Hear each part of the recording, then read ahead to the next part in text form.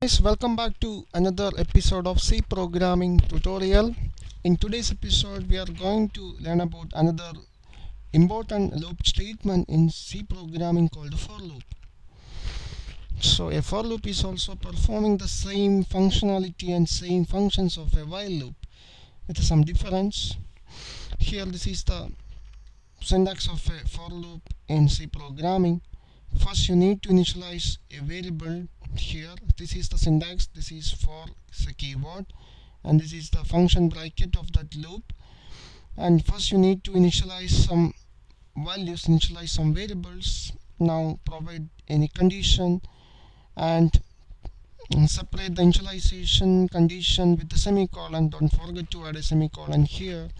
And you need to put a condition here and put a semicolon here. And finally there is an updation statement there is no semicolon needed for the updation and you have to close the brackets. And here is the function bracket. Here is the function body of the for loop. You can put your statement or block of statements into this function body. Okay. So the working is some uh, there is some little difference of uh, difference in working with the for and while loop so for the for loop first it will start the initialization. That means it initialize some variables and with that value it check a condition. And if the condition is found to be true it will enter into the loop body and execute the loop body. After the full execution of the loop body it will coming back to updation. And perform an updation. It may be an increment or decrement operation and check the condition again. If the condition is found to be a true one, it again enter into the loop, enter into the loop body. Now execute it. Now again come to the updation. Again perform a updation. Again come to condition. If the condition is again true one, again execute the loop body. Now this will cycles under the until the condition is a false one. If the condition is found to be a false one, the loop will exit. Okay. Uh, here the initialization perform only once at the beginning of the loop and uh, it will check the condition and enter into the loop. Now go to updation again check condition again enter loop again updation condition enter loop. Whenever the condition is false the loop will exit. This is the working of an for loop in C programming. Okay you can initialize any number of variables here. You can put the comma operator for uh, for separating the variable declaration. So I will uh, I will give I will explain that one uh, I will explain that in another episode.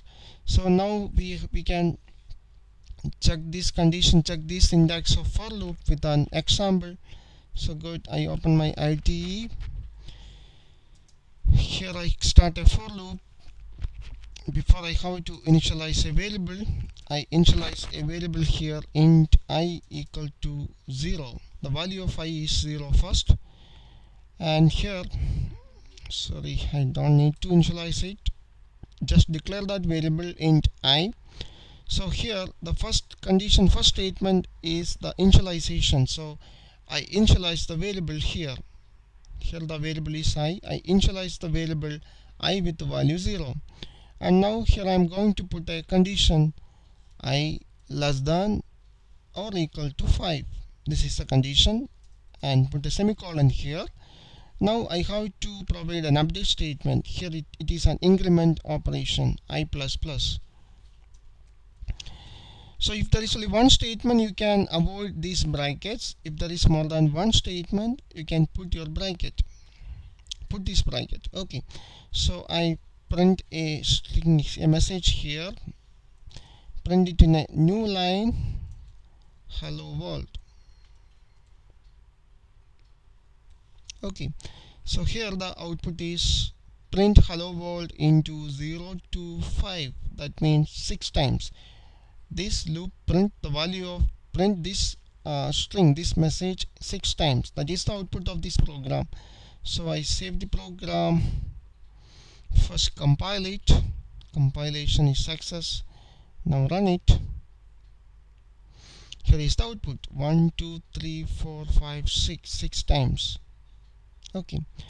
So we can just check the how this work. First it initialize the value of i into 0 now check the condition. Now the condition is 0 less than or 5 it is true.